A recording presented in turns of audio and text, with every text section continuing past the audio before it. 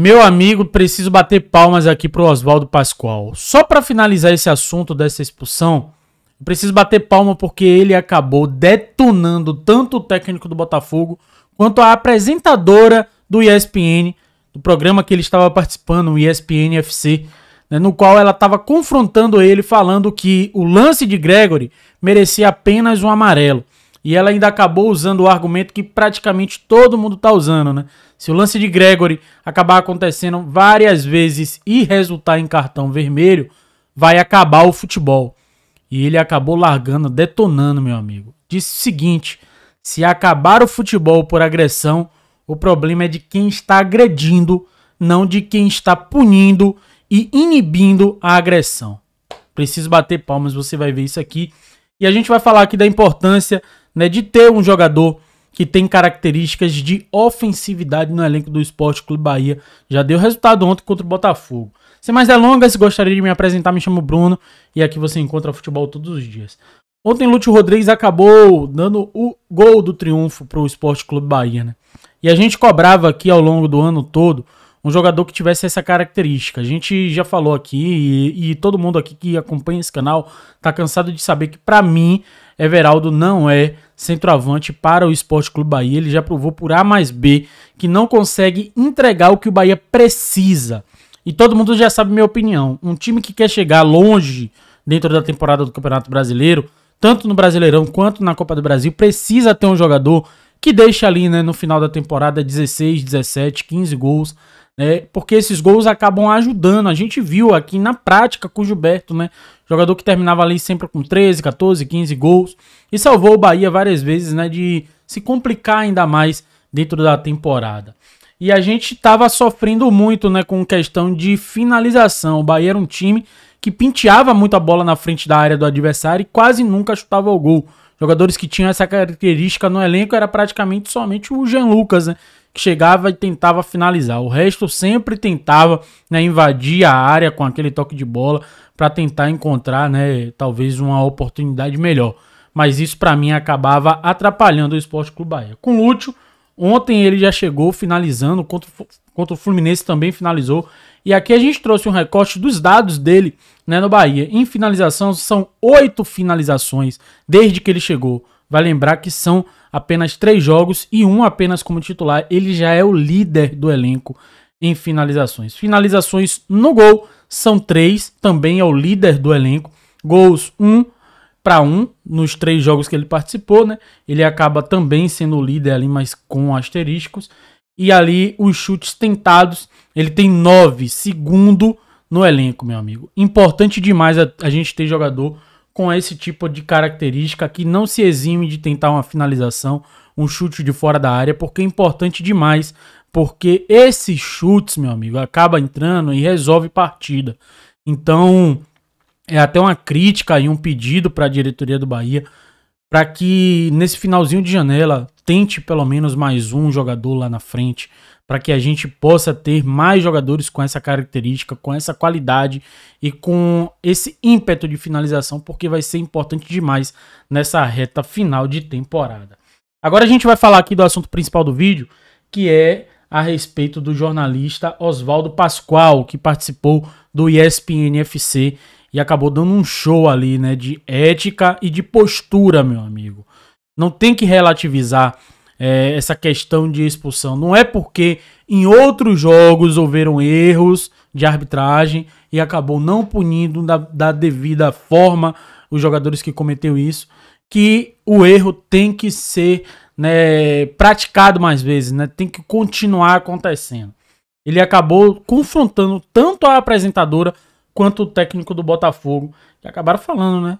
Ah, se acontece esse tipo de lance e todos eles acabam em expulsão, pode acabar o futebol. Se acabar, meu amigo, o erro é de quem está cometendo é, a agressão. Vamos jogar na tela aqui pra gente ver o que, é que eles dizem. Muito pro Fluminense, porque o tá de olho é em reagir no campeonato. Com toda certeza, tem reagir que reagir no campeonato. No campeonato o Pascoal citou uma coisa, só para não passar batido, Pascoal, vamos ouvir o Arthur Jorge pra gente entender o que ele fala sobre a expulsão do Gregory, né? Um lance polêmico pra gente fechar aqui o nosso clube. Coloca aí o Arthur Jorge, já pode colar a expulsão pra gente, por favor. O tal detalhe que nós não controlamos estraga o jogo estraga tudo aquilo que era um espetáculo de futebol e condiciona largamente aquilo que era a nossa possibilidade de sairmos daqui vencedores. Não tenho dúvidas nenhumas. Tenho a certeza que hoje poderá haver gente a ser envergonhada deste estádio. E eu digo-vos que eu não sou de certeza absoluta, os meus jogadores não são de certeza absoluta, não acredito que haja alguém do Botafogo a ser daqui envergonhado. Mas que haverá, acredito que sim. Marcados. Tá aí, o Arthur Jorge e o lancezinho na tela para a gente analisar aqui rapidinho que estamos na reta final, Tetra, mas eu vou começar aí com você. Tem, tem razão em reclamar, o Arthur Jorge? Olha, tem um movimento do Gregory. É claro que não é um movimento natural, ele, ele, ele manda o braço para trás para acertar. Eu, a princípio, olhando rapidamente, achei que não pegou, né? Então, assim... Pega agora. O árbitro de frente para o lance né? O árbitro de frente pro lance, tá bem de frente pro lance o. Era lance para ele, né? Dá o cartão é. amarelo ou ele dá o vermelho.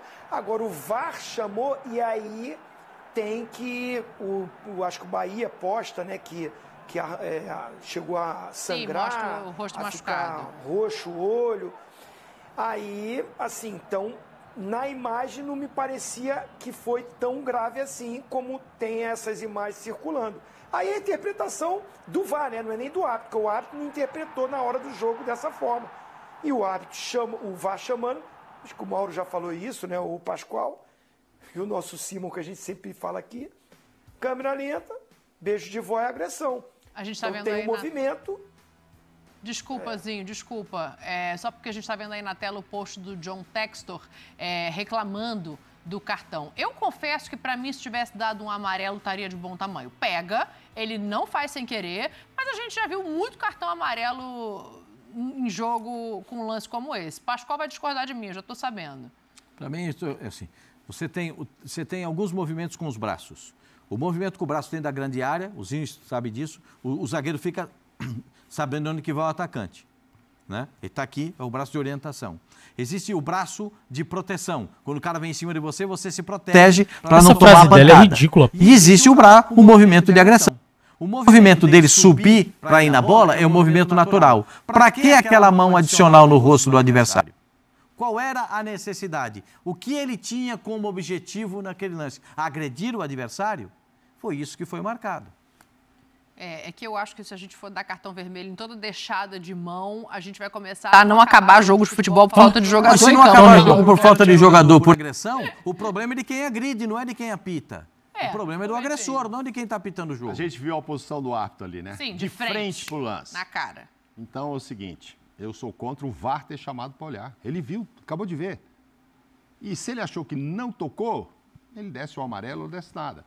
Se ele achou que tocou, ele desce o vermelho. Não gosta do VAR chamar para. Deixa ele decidir ali. Agora, o Bahia publicou uma foto do Arias com os dois lados machucados. A impressão que eu tenho é que só pega de um lado. Se é que pega só do lado. Quem tiver a oportunidade de ver a foto, parece que ele está vermelho nas duas bochechas, assim, como se tivesse sido uma baita agressão.